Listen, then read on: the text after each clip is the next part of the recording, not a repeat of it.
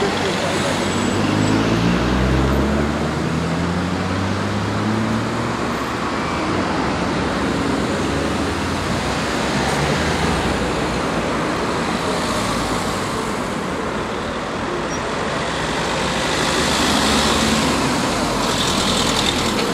Bonjour Guillaume, tu peux me commenter euh, ce qui se passe Bah ouais, en fait on a voulu symboliser euh, les attaques euh, du travail social, euh, ce qu'on considère comme la mise à mort du travail social.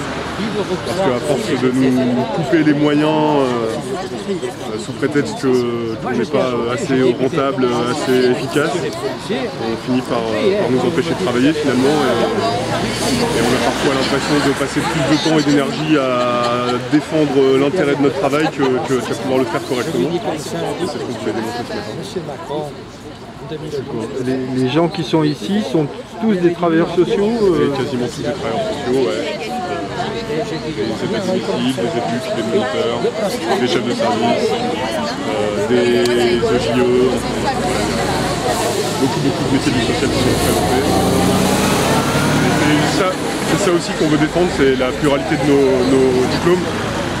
Parce que les diplômes ils sont de moins en moins reconnus, de moins en moins valorisés. Il y a une crise des vocations, une crise des recrutements qui fait que bah, on place, euh, on place finalement des gens qui ne sont, pas, diplômés, qui sont précarisés à des postes où y a besoin de gens qui sont formés. Ça ne nous viendrait pas à l'idée de, de demander à quelqu'un de s'improviser euh, soignant ou médecin, et pourtant euh, là on demande aux gens de s'improviser travailleurs sociaux, euh, éducateurs et éducatrices, avec des des publics qui sont, qui sont et qui, euh, et qui méritent d'avoir des gens qualifiés pour, pour leur prise en charge.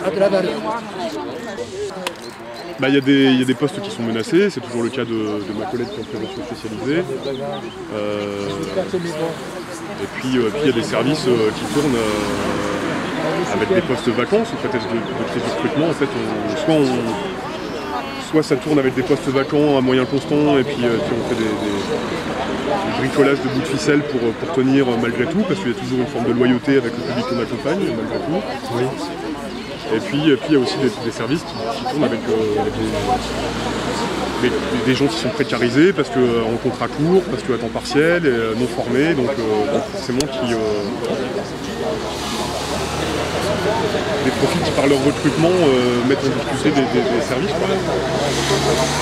C'est local ou c'est national ce mouvement social castagne?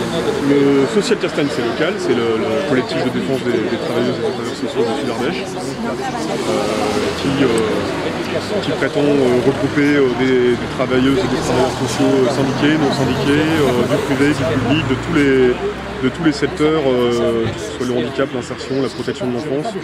Et l'idée derrière, derrière ça, c'est que finalement nos réalités sont différentes, mais, mais la, la crise qui nous traverse, elle vient des mêmes décisions politiques des décisions politiques qui sont irresponsables et, et on nous demande de plus en plus euh, de rendre des comptes avec des grilles de lecture qui, qui sont incompatibles avec la réalité de notre travail.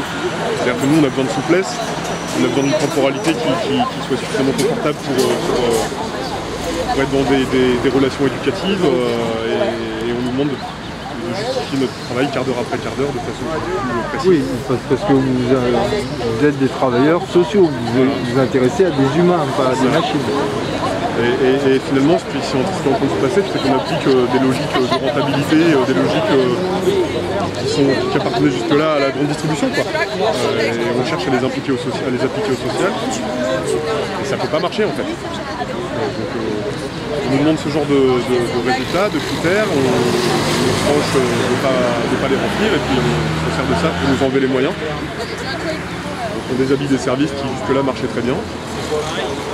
Alors la, crise du travail social, elle est, nationale, hein, euh, c'est c'est réalité euh, de la que de décrire, euh, c'est national, mais il y a aussi une particularité en Ardèche, c'est que depuis que le département est passé à droite avec le- l'équipe de Olivier Amran, euh, bah, les moyens sont de plus en plus, euh, sont de, plus en plus revus à la baisse sous prétexte de, restrictions budgétaires. Euh, et c'est toujours la même petite chanson, c'est-à-dire qu'on nous explique qu'il n'y a pas les moyens pour le social, qu'on n'est pas assez efficace, que, que la dépense lié au social n'est pas, justifié. Et puis on se rend compte que finalement de l'argent, il y en a euh, pour les chasseurs, il y en a pour euh, fabriquer des politiques de sécurité, il y en a pour euh, changer des panneaux euh, de 80 à 90. euh, c'est- c'est- en fait, c'est des choix politiques qu'il faut, assumer comme tels. Euh, donc, euh, qu'on puisse expliquer aux gens que euh, le fait de, ne plus donner d'argent pour le social, c'est un choix délibéré de laisser tomber euh, une certaine partie de la population.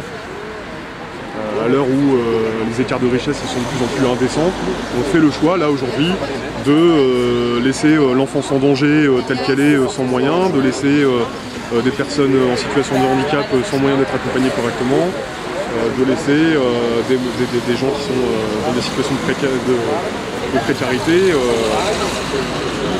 de ne pas, mettre les moyens pour, les intégrer.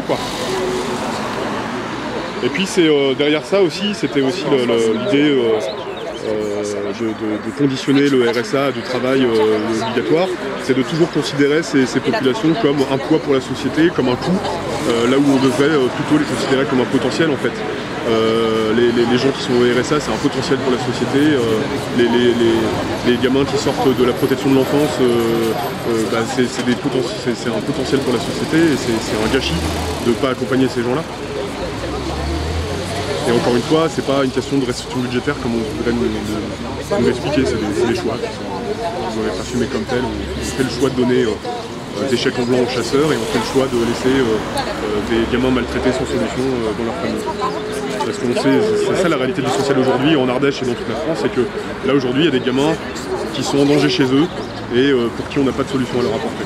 Parce que la, protection de l'enfance n'a pas les moyens de les accompagner, par exemple. Alors oui, la crise du recrutement, c'est aussi euh, particulièrement en Ardèche parce que la ruralité fait qu'il y a des distances qui sont, Merci qui sont importantes, mais, euh, mais c'est la suite logique des politiques antisociales, du fait que les innovations sont toujours euh, dévoyées.